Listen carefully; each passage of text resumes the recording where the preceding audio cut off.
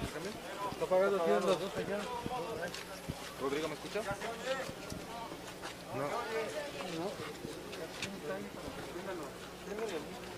Bueno, vam- ya se oye, muy bien. En esta calle, secretario, en esta calle, doctora, hicimos la sustitución de las redes de agua potable y de drenaje. En agua potable colocamos 893 metros con tubería de polietileno de alta densidad de 12 pulgadas de diámetro, 12 pulgadas son 30 centímetros. Y en drenaje colocamos 965 metros con distintos diámetros, 38, 45 y 61. En general utilizamos el método de zanja abierta. Aquí se puede ver eh, la huella de la zanja que se abrió en la parte central para colocar el drenaje.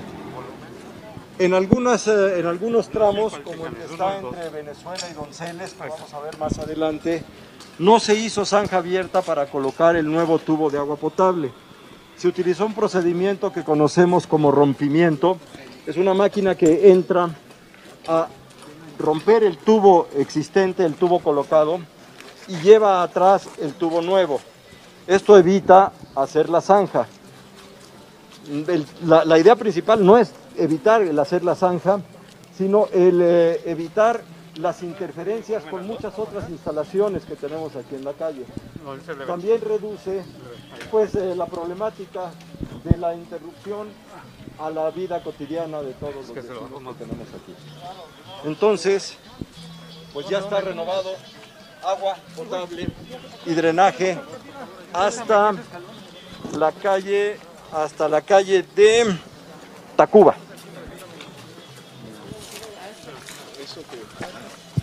Buenos días a todas y a todos. Aquí, entre las cosas que se hacen, además de eh, la parte de drenaje y agua potable, es el soterramiento de cableado de media tensión o de alta tensión y lo que se llama ducto maestro, que son esos 12 eh, tubos o ductos de 2 pulgadas que eh, van a interconectar y que van a servir para todos los cableados de telecomunicaciones.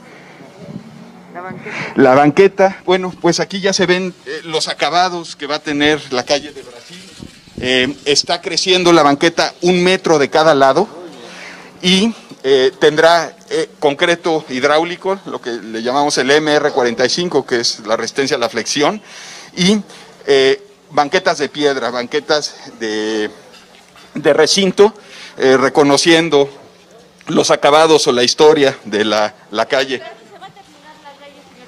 Ahí él le va a decir el secretario de Obras. Sí. Cinco meses.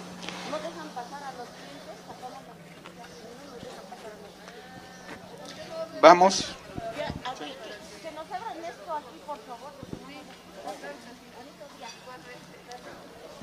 Sí, aquí eh, la, la intervención sobre la calle de Brasil es de cerca de un kilómetro.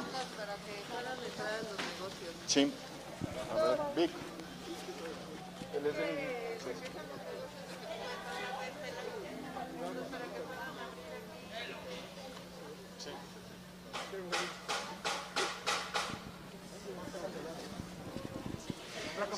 Eh, les decía, eh, bueno, la calle de Brasil sigue el trazo de una antigua calle prehispánica que iba hacia Tlatelolco, que comunicaba hacia Tlatelolco.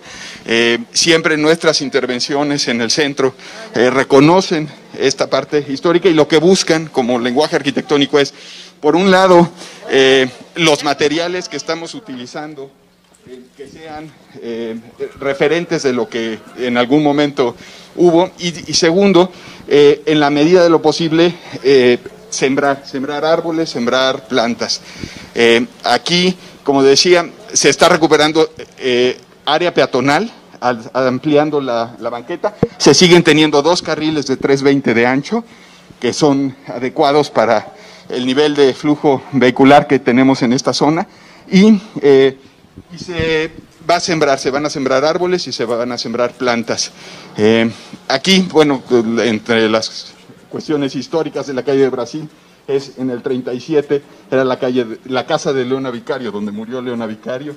Eh, bueno, eh, pues es parte de, el respeto que tenemos que tener para las intervenciones que hacemos aquí en el centro histórico. También se va a intervenir, eh, ya tenemos un anteproyecto para la Plaza Santo Domingo. Es una plaza que, que tiene este, mucha historia, que actualmente tiene un acabado rugoso, un poco irregular, difícil para caminar. En esta primera etapa pasamos con la parte peatonal, con el recinto, como mencioné, este, en toda la parte del perímetro, y para el próximo año ya estaremos interviniendo la parte central eh, de la plaza. Eh, eh, pues a grandes rasgos estas son las, las acciones que llevaremos a cabo sobre la calle de Brasil. Eh, adicionalmente, bueno, pues este año eh, estamos interviniendo cerca de 85 mil metros cuadrados en centro histórico como parte de la revi- revitalización del centro histórico. Está calle de Brasil, está calle de Zarco, está eh, Santa María la Redonda en la parte norte y la calle de Valderas además de la intervención de lo que denominamos zócalo peatonal, que en un momento más este, veremos en imágenes. Esta es la de Leona Vical. Esta es la casa. La calle de Brasil que comunica con la calzada de los misterios, este, directito, no es Argentina, es Brasil, lo que tú decías. Este es el plano más antiguo, 1628. Personas de Guatemala.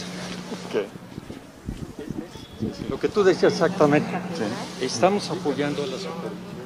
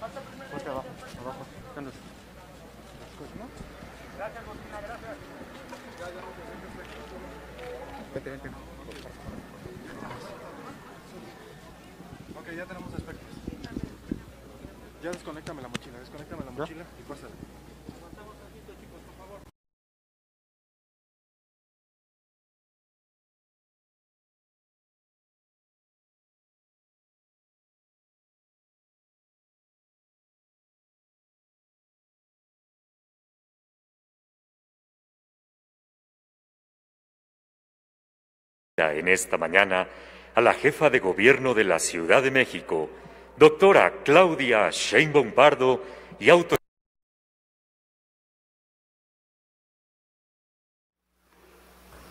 Muchas gracias, muy buenos días. Muchas gracias a Esteban Moctezuma, secretario de Educación Pública, por acompañarnos el día de hoy. Por supuesto, al alcalde Néstor Núñez, con quien tenemos una excelente coordinación, a las diputadas y diputado federal, eh, muchísimas gracias, diputada local, a todo el equipo.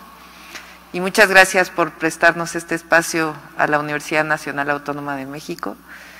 Ya escucharon ustedes este esfuerzo que estamos haciendo por recuperar, restaurar y darle continuidad, pero de una manera integral, al rescate del centro histórico de la Ciudad de México.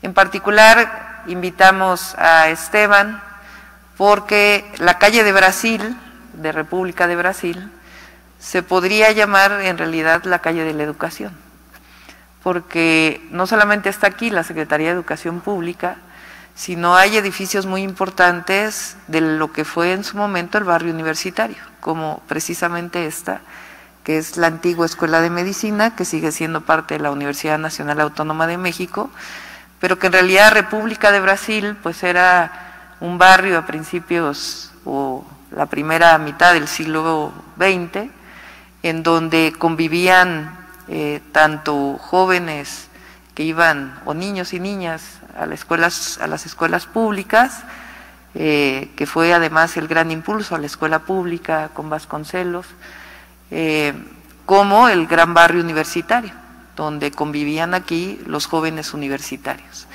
Así que para nosotros es muy importante este rescate de República de Brasil, no solamente por lo que significa en términos históricos y de rescate del espacio público, sino porque en realidad pues es una calle que representa la educación en nuestro país. Así por eso esta invitación y la aceptación y el agradecimiento de que Esteban esté aquí el día de hoy con nosotros.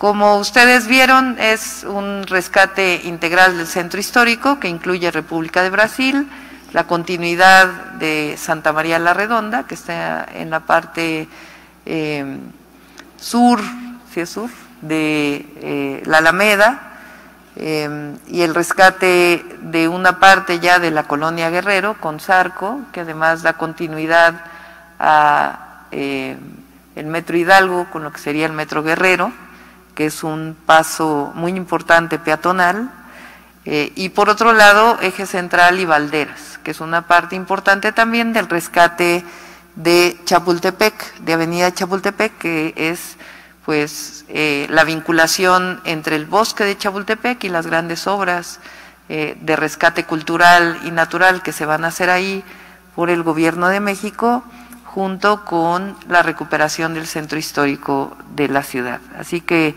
esta es parte fundamental. Para nosotros no solamente es el rescate de la memoria histórica y lo que significa la capital de México como la capital de todas y todos los mexicanos, patrimonio cultural de la humanidad y parte fundamental de la belleza histórica y la belleza arquitectónica de la Ciudad de México, sino también es parte fundamental de la interculturalidad y la riqueza cultural y la diversidad cultural de México.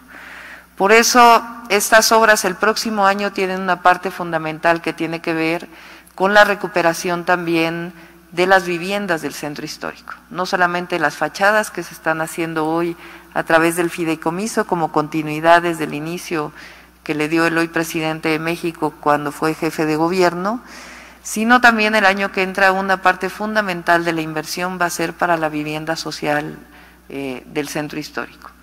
Una parte para la vivienda indígena, de las comunidades indígenas residentes, y otra parte de la recuperación que es fundamental hacer de las viviendas de alto riesgo que están en el polígono A y el polígono B del centro histórico. Es decir, no solamente hay que recuperar las calles, las banquetas, la infraestructura hidráulica, el espacio público, la historia de todas estas zonas, sino también a quien vive en el centro histórico. En la medida en que recuperemos no solamente los edificios, sino también la vida del centro a través de su rescate cultural y de la vivienda digna, de esa manera también estamos dignificando la ciudad, dignificando a sus habitantes y dignificando el futuro de la ciudad. Hoy estamos en medio de la pandemia, eh, aún así el centro histórico tiene una enorme vida, eh, con mucha precaución de todos sus visitantes y todos los empresarios que trabajan en el centro histórico, pero también tenemos que estar pensando en cuando acabe la pandemia, no solamente quedarnos en este momento, sino seguir pensando en el futuro y en la esperanza de la ciudad y del país, y eso se construye pues desde este momento. Así que muchas gracias a todos y a todas, muchas gracias Esteban por tu presencia y pensemos siempre en el futuro y la esperanza para nuestra ciudad. Gracias. Agradecemos el mensaje que nos ha dirigido la doctora Claudia Sheinbaum Pardo, jefa de gobierno de la Ciudad de México.